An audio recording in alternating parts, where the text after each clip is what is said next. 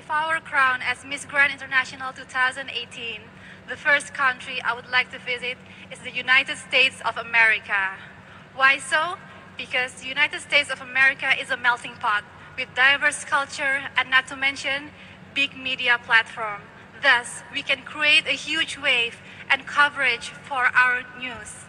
And I would like to spread the message that stop the war doesn't necessarily mean that we go to war zones, but we can start from within ourselves. If we find peace, if we found love within ourselves, it's easier for us to spread love. And love is a contagious, but it's a wonderful one.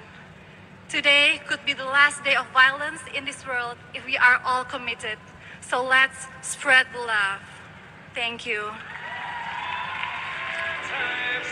Thank you, Miss Grand Indonesia. There you have it, ladies and gentlemen, our top five of Miss Grand.